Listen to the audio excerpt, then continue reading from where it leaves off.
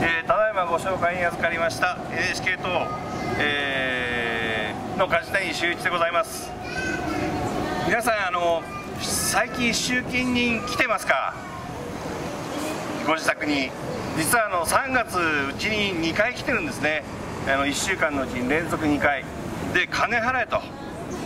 でうちの息子が対応したんですけどもあのなんとかしてくれと。お父さんなんとかしてくれよあれをって。っていう話です。で、まあ、私あの仕事で忙しいもんですけどなかなかあの家にいることはできないんですが、あのー、杉並区はどうやらまだまだ集金人さんが元気なような感じがします。じゃ先々週に実はあのご相談を受けた、あの方がお父様が2年前に亡くなられてであのい、まだに払ってたと。お金を、えー、口座振り替えで。で、えー、それを止めたら途端に集金人が来て5000円でいいから払えと。亡くなってるんですよもう2年前にね。亡くなってるのにもかかわらず独居の方ですよ当然。で娘さんがあの片付けに来ててそこにたまたま集金人が来ました。でなんで亡くなってるのに払わなきゃいけないの？でちょうど私の方に電話をいただいて。で今日実はあの、えーと、杉並の管轄がですね NHK の池袋センターです。で池袋センターにお電話をしてあの2年前に亡くなってるんですけどってあっさり解約できました。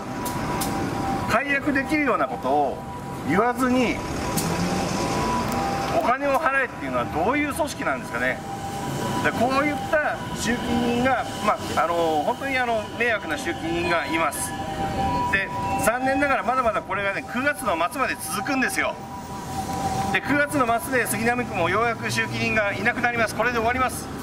ただそこまでは皆様をしっかりとあのお守りしたいなと思ってますのでいつでもあのお電話ください。あのすぐに駆けつけますんで。NHK をぶっ壊す、えー、NHK 党の梶谷修一と申します。よろしくお願いします、えー、私はあの、NHK の受信料をえー、支払わなくていい方法を皆様に教えるために、えー、今回立候補しました。で、えー、NHK の料金って、えー、実は、えー、5年が来れば払わなくて5年来れば時効になるんですね。ででも真面目に払い続けてる人はずっと何十年も払うとあの何十万円にもなります。でも NHK の料金って、えー、裁判される人ってほぼいないんですよ。なので裁判された時に NHK とかはその料金を肩代わりします。だから NHK に料金を払わなくても一切あの皆さんは無事に過ごせますんでぜひともあの私をあの区議会の議員にさせていただいてその方法をどんどんどんどん4年で拡散をさせていただきますんで何卒よろしくお願いします。あのー、はい。去年ですね杉並では新しい区長が、えーはい、誕生しましたけれども、はい、その区長に対するこう評価というかそういうものはいかがですか？あの私自身は、はい、あの東京の方ってリベラルの方が多いと思いますんであのああいう区長がいらっしゃっても私は大丈夫だと思います。はい。あのもっともっと左に行って行ってしまってで、あのき過ぎた場合にはやっぱりそこはフェイルセーフがあの区民の方のフェイルセーフが働くと。で事実その、えーと、武蔵野市ですか、えー、松下市長かな区長区長松下市長かがあの外国人の参政権とかっていうことを、ね、強引に進めようとされてる場合もありますけどああいうところにやっぱり右右寄りの方々が次々に区あの市議会議員に立候補されてでそこでやっぱりその修正が働くと。いうことなので私自身はその評価はニュートラルですけどもあのいらっしゃっても全然構わないと思います。はい、あの4年間でそのどどうやってその広めていくんでしょう、その梶谷さんがやろうとしていることを。あそうですね。あの、私自身はあの電話番号、携帯の電話番号も公開しております、で今回、ポスター見ていただければ分かりますけども、そこにも電話番号書いてありますので、でそこにお気軽に電話ください、でそしたらすぐに駆けつけて、でその方法をお教えします。はい、分かりました。最後にもう一度有権者の方に一言をお願いします。はい。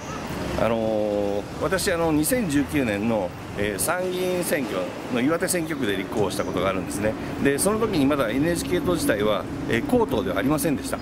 まだ地域政党の時代でした。でも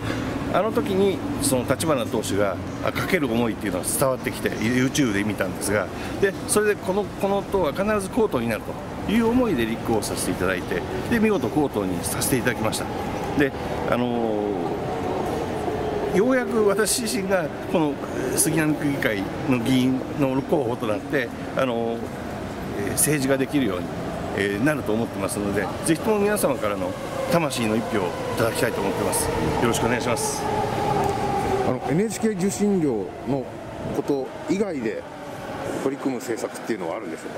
うか？具体的には生活困窮者の方の支援をさせていただきたいなと思ってます。例えばその生活保護のあの申請ですとかあの党内にはもともと船橋市役所の生活保護課にいたあの議員さんもいらっしゃいますあのそういった方を前面に押し出して、えしっかりとその困っている人にあの手助けができるような、えー、そういう、えー、お手伝いをさせていただきたいなと思ってます。はい、ありがとうございます。